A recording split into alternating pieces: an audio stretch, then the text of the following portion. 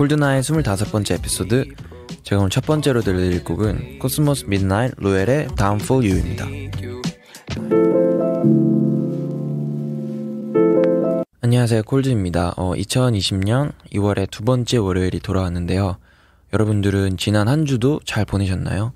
날씨도 갑자기 추워지고 눈도 왔었는데 이번 주에는 또 비 소식이 있더라고요. 여러분들 우산 꼭 챙기시고요. 어, 그리고 또 이번 주 금요일이 발렌타인데이잖아요. 어, 어떤 분들에게는 굉장히 설레는 날일 수도 있고, 어떤 분들에겐 아무것도 아닌 그냥 금요일일 수 있지만, 그래도 괜히 설레고 기다려지는 날인 것 같습니다. 어, 저도 발렌타인데이를 어릴 때 참 많이 기다렸었던 것 같은데, 지금은 뭐, 사실 뭐 큰 기대감 없이 보내는 날이 됐지만, 뭔가 그 발렌타인데이 떠오르면 떠올리면은 뭔가 내가 초콜릿을 받을 수 있을까라는 기대감이 항상 있는 것 같아요. 여기에 대본에 많이 받아봤는지 뭐 이런 질문이 있는데 많이 받았는지는 모르겠어요. 그냥 그래도 어릴 때는 좀 화이트데이랑 발렌타인을 발렌타인데이를 다들 챙기니까 그때는 모두가 주고받는 그런 게 많으니까 그때는 좀 받았던 것 같긴 한데 그렇습니다. 그래서 오늘은 시작하기 전에 챗 베이커의 My Funny Valentine을 듣고 와서 첫 번째 사연을 읽어보도록 할게요. 어, 잘 지내고 계신가요, 콜디? 어, 전 곧 타투를 하러 간답니다. 제가 엄살도 심하고 겁도 많아서 받을 때는 진짜 너무 아픈데 또 안 하고 있으면 너무너무 타투를 하고 싶어요. 성인이 된 후로 1년에 한 번씩만 자제하며 받아서 지금이 세 번째 타투인데요. 원래는 나중에 돈 많이 벌어서 의미 있는 타투들을 많이 하려고 했는데 요즘엔 예쁘면 그냥 받고 싶더라고요. 그리고 저는 blackwork old school 스타일을 좋아하는데 그런 스타일은 큰 도안밖에 없더라고요. 점점 도화지는 채워지고 통장 잔고도 줄어가는데 제가 하고 싶은 도안들은 너무나 많이 남았습니다. 프로 타투러 콜드 행님의 타투들은 어떻게 그런 예쁜 간격들과 의미들로 채워졌나요? 예전에 토크 콘서트에서 듣긴 했는데 또 타투를 더 하실 의향이 있으신지 타투를 하면서 있었, 있었던 에피소드들과 비하인드 썰 풀어주세요. 마지막으로 또 다른 프로 타투러 선배 뜻도 행님과 켈라니 행님 누님 아닌가요? 에 갯미 신청합니다. 네 이렇게 사연 보내주셨습니다. 음, 네 굉장히 재밌는 사연인데 어, 프로 타투러 콜드스앵님은 타투를 어떻게 그렇게 예쁜 간격들과 의미를 채우셨는지 어, 사실 저는 뭐 타투를 이렇게 받을 때 계속 이제 다음 타투를 예상하면서 간격을 짜긴 짰는데 뭐 지나고 오면 좀 아쉬운 것도 많고 하지만 그냥 뭐 그 아쉬운 맛 맛대로 또 살아가는 게 타투에 또 타투는 후회가 없으면 또 타투가 아니죠. 그래서 저는 그냥 제 타투를 만족하면서 있는데 어, 제 타투 저도 타투가 계속 여러 개 좀 추가를 계속 하고 있는 상황인데 이렇게 뭐 의미나 이런 걸 소개를 잠깐 해드리자면 우선 저는 첫 번째 타투가 챗 베이커 타투였어요. 그래서 챗 베이커를 제 팔에 사귀었고 저한테 어떤 영향을 굉장히 많이 준 아티스트였고 첫 번째로 하고자 했었던 의미가 있었어서 챗베이커였고 어, 가족 타투가 있는데 가족 타투는 제 어릴 때 가족 사진에서 삼라를 추가해가지고 삼라까지 있는 어떻게 보면 어릴 때 사진에서 삼라를 새롭게 추가해서 저의 마음 안에 영원한 가족으로 저희 삼라를 추가해서 가족 타투가 있고요. 타투 받으신 분들이 두 가지로 나뉘는 것 같은데 그냥 진짜 예쁘면 별 생각 없이 하는 타투러들이 있고 저는 좀 의미를 담아두는 편입니다.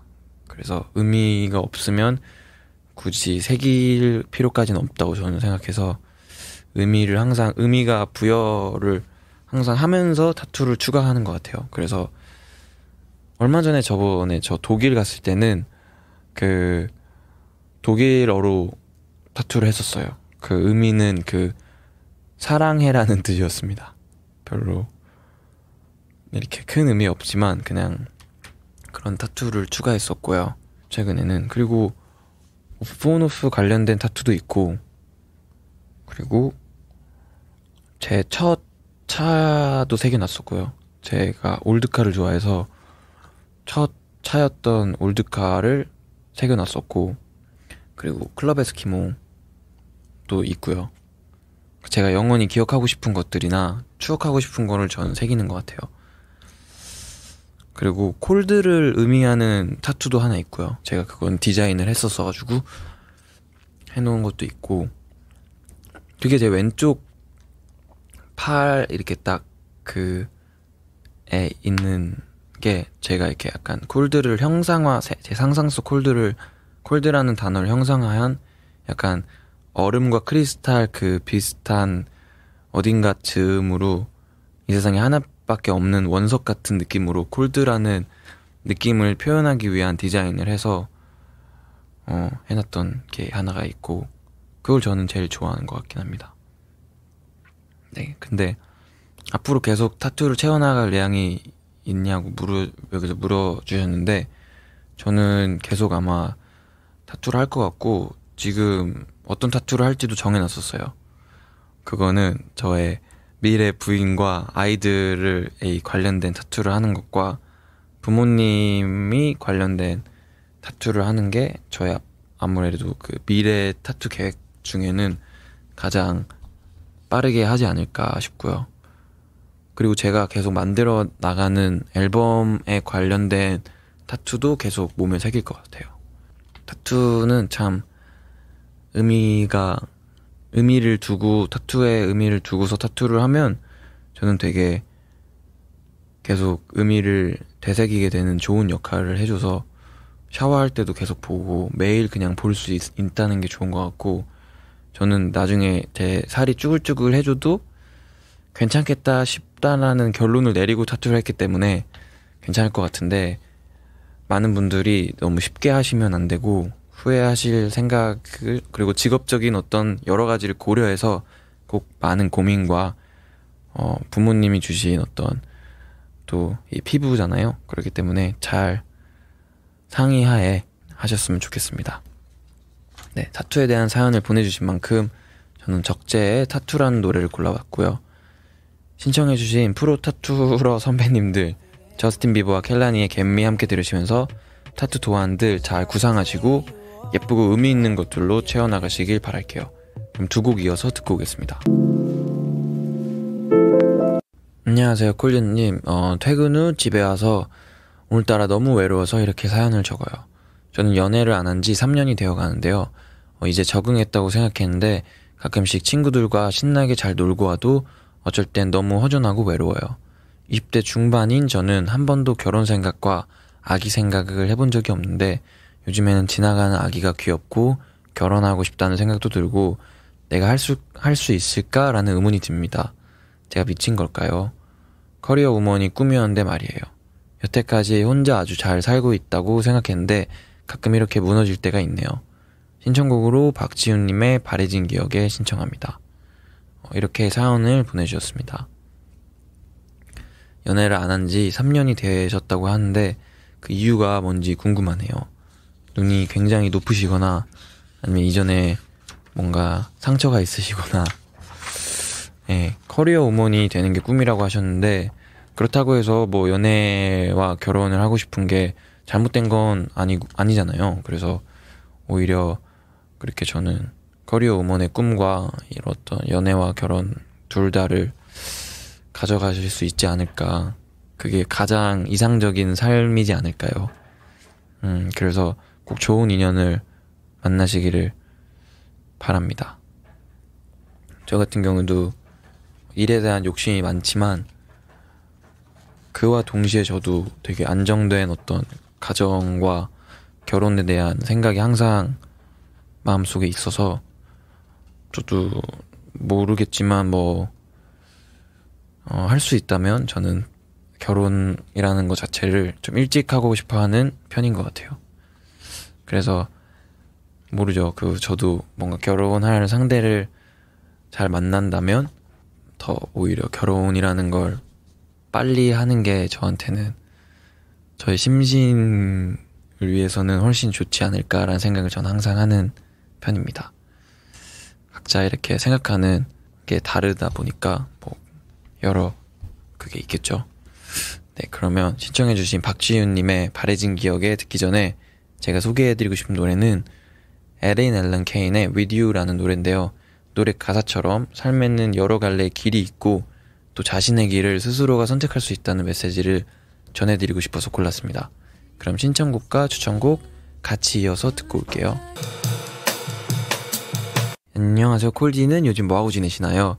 전 추억파리에 빠져 있어요. 컴퓨터에 백업해둔 옛날 사진들을 보고 있는데 그때 기억들이 새록새록 떠오르기도 하고 좋더라고요. 어, 기억을 아주 어린 시절의 것까지 꺼내보게 됐어요. 생각해보면 어릴 때 저희 집 마당에 꽃나무가 엄청 많았거든요. 그때 꽃으로 어, 반지를 만들었던 기억이랑 라일락 냄새 같은 게 아직도 소중하게 남아있는 것 같아요. 쿨리님은 오랫동안 남을 것 같은 추억이 있으신가요? 궁금해서 사연 보내봐요. 그리고 콜드의 향 신청할게요. 이렇게 사연을 보내주셨습니다. 음, 저한테 오랫동안 남을 것 같은 추억은 여태까지도 많이 있었고, 앞으로도 계속 많이 생길 것 같은데요. 음, 기억 남는 추억들이 있다면, 어, 웨이비라는 회사를 만들고서 첫 번째로 했던, 어, 저의 뭐 단독 공연, 이런 것들은 진짜 잊을 수 없을 만큼 너무 좋은 기억이어서, 그때의 그런 준비했던 과정과 막 되게 저희 팀원들이랑 다 같이 진짜 열심히 막 밤 새가면서 준비하고 그때 와주셨던 분들이 횟수로는 한 2년 정도가 지났는데도 그때 공연에 대한 얘기를 막 아직도 해주시는 분들이 있거든요. 그래서 저도 아직까지도 참 기억에 많이 남는 일인 것 같고, 그리고 또 뭐 기억 남는 거는 제가 클럽 에스키모 멤버들 처음 만났던 순간들, 그때가 저한테 되게 어, 인생에서 엄청 좀 많은 것이 바뀌고 너무 행복했던 기억들이 많아서 그 클럽 에스키모 처음 만났던 그 순간들과 그때 같이 경험했던 거는 아마 평생 음악을 하는 동안 잊지 못할 것 같아요. 그리고 처음으로 offonoff 음악을 SoundCloud에 저희가 업로드하기 직전에 저희가 맨날 밤새던 24시 카페에서 그때 SoundCloud에 딱 업로드를 하는 그 새벽에 저희가 캡처를 해놨었어요. 이제 팔로워랑 listen 그 재생 횟수가 다 0인 그러니까 올리고 직후에 아무도 이 저희를 모를 때 음, 그런 순간들 그런 거는 늘 제가 항상 기억을 하는 것 같아요. 매해 새로운 다짐을 할 때마다 그런 어떤 처음의 기억들을 되새기면서 행복하게 회상을 하는 것 같습니다. 사연 보내주신 분처럼 저도 향을 통해서 그리고 향을 기억하고 추억하는 어떤 습관이 되게 있는데 뭔가 제가 산책을 많이 하, 면서 되게 그 저희 동네에서 산책할 때 햇살 좋은 날에 제가 만든 음악들을 이제 들으면서 막 그 삼나랑도 같이 산책하고 했었을 때 그 굉장히 산뜻하고 싱그러운 그때 향기 같은 거는 아직도 저한테 엄청 큰 힘이 되는 것 같습니다. 지금은 이제 그런 시간을 잘 못 보내다 보니까 그때가 굉장히 그립고, 음, 그때가 진짜 행복했던 순간이구나를 이렇게 정신없이 지내다 보면은 항상 깨닫는 것 같아요. 사연 보내신 분처럼 살다가 이렇게 바쁘게 살다가도 이런 시간들을, 이런 소중한 기억들을 되새기는 시간을 갖는 건 참 좋은 것 같고, 저도 항상 그러려고 노력하는 편인데, 점점 쉽지 않더라고요. 그래서 저도 이런 사연 읽으면서 한번 또 그때를 생각하게 되는 것 같아서 너무 좋네요. 네, 그럼 일단 신청해주신 향을 듣기 전에 저는 진저의 해피세드 카펫이라는 노래를 추천해드리고 싶은데요. 카펫에 담긴 추억들을 어, 말하는 노래인데요. 사연자분의 어린 시절 꽃나무처럼 무언가에 담긴 추억을 꺼내어보고 또 소중하게 생각하는 마음이 잘 어울리는 것 같아요. 제가 추천해드리는 이 곡 들으시면서 오래오래 소중한 추억을 간직하시면 좋겠습니다. 그럼 제 노래 향 그리고 진저의 햇빛 세트 카펫 이어서 듣고 오겠습니다. You're listening to Cold Night. 다시는 사라지지 않게 곁에 두고 싶어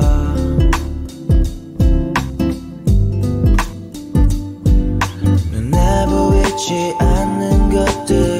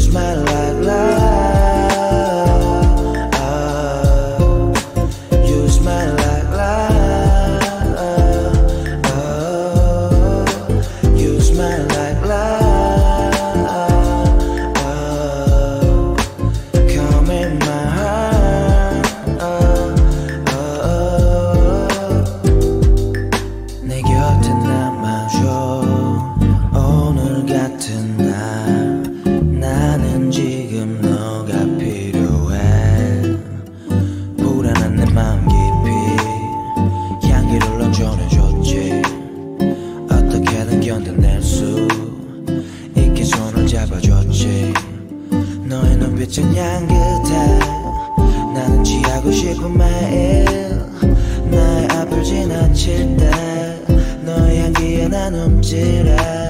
너는 차원이 다른 느낌.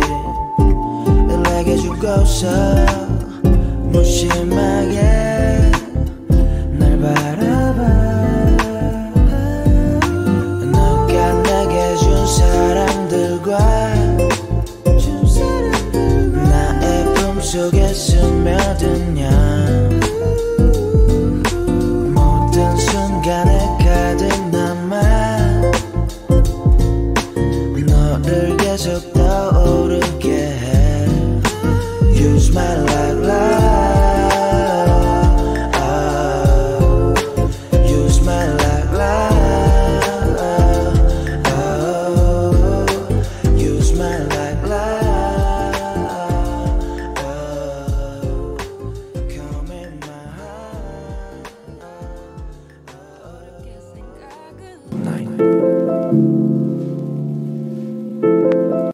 안녕하세요. 저는 22살 곧 졸업을 앞둔 여대생입니다. 저는 올해 졸업을 앞두고 갑자기 큰 결심을 하게 되었어요. 그건 바로 문화 컨텐츠과로 편입을 하겠다는 큰 결심이었습니다. 올해는, 아, 원래는 올해 취직하지 않고 이것저것 경험, 경험해보면서 여행도 다니고 놀고 시기로 마음을 먹었습니다. 그러다가 최근에 문득 혼자 여기서 멈춰지는 듯한 기분이 들었어요. 하고 싶은 것이 많은 사람인 저는 제가 무언가를 앞으로 하며 나아가려면 대학에서 공부를 하는 것이 나중에 다양한 것들을 시도해 볼 수 있도록 해준다는 현실을 맞닥뜨리게 되었어요. 물론 대학을 나오고 안 나오고가 중요한 건 아니라고 생각하지만 현실적으로 새로운 무언가를 하려면 기본적인 지식이 있어야 한다는 생각이 들어서 편입을 결심하게 되었습니다. 음, 편입을 결심하기까지 두려움도 많았고 힘들었지만 스스로 마음먹은 만큼 저 잘 해낼 수 있겠죠? 어, 편입을 하는 과정도 편입을 하고 난 후에도 잘 할 수 있겠죠? 제게 용기를 주세요, 골디. 이렇게 보내주셨습니다.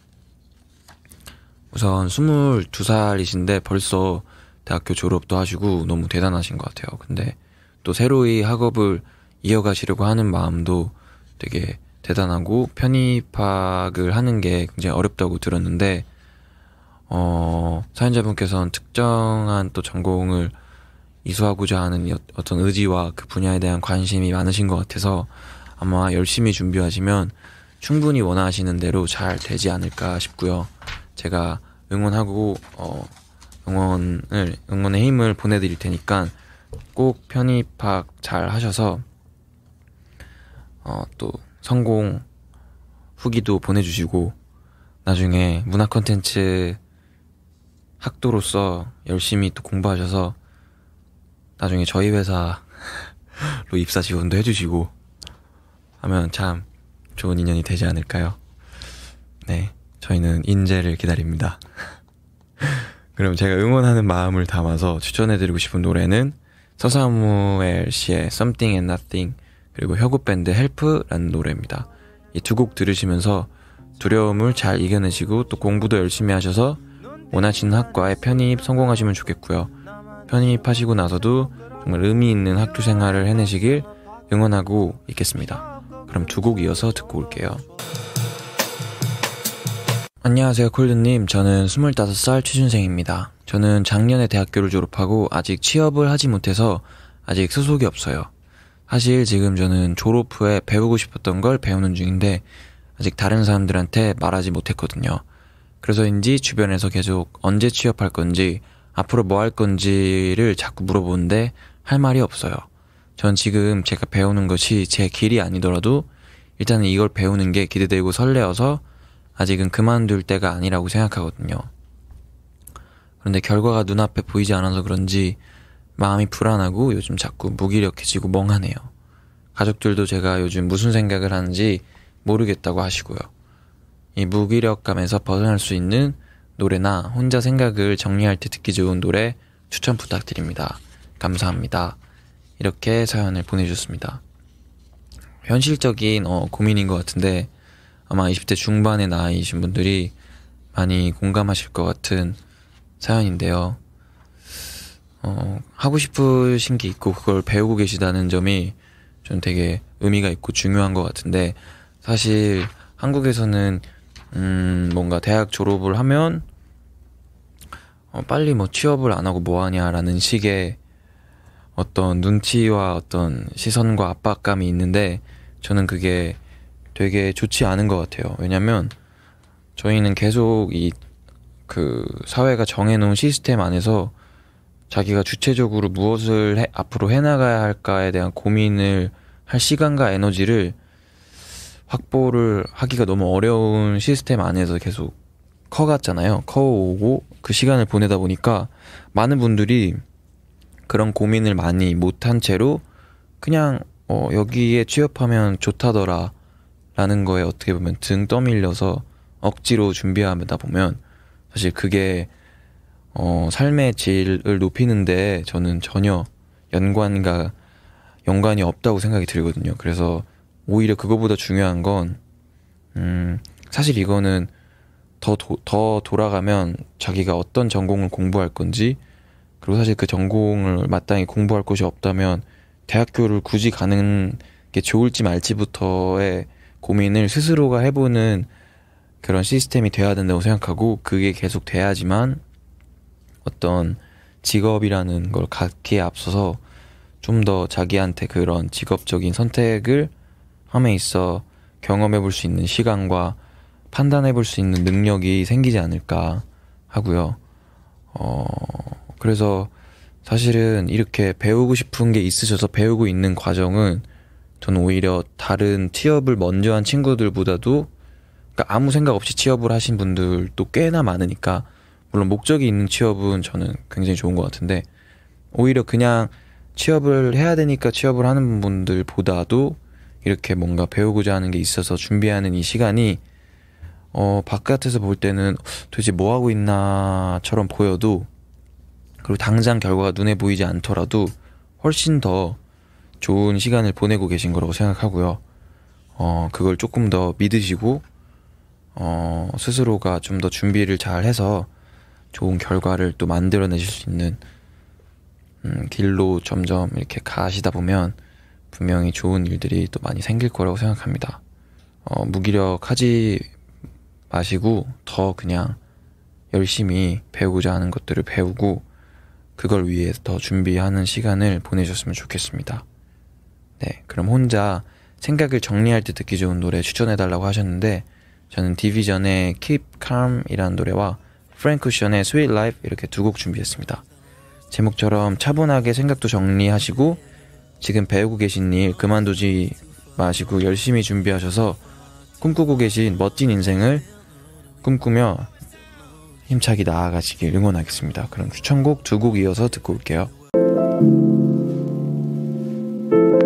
네, 이렇게 마음이 편안해지는 마지막 추천곡들까지 듣고 왔습니다.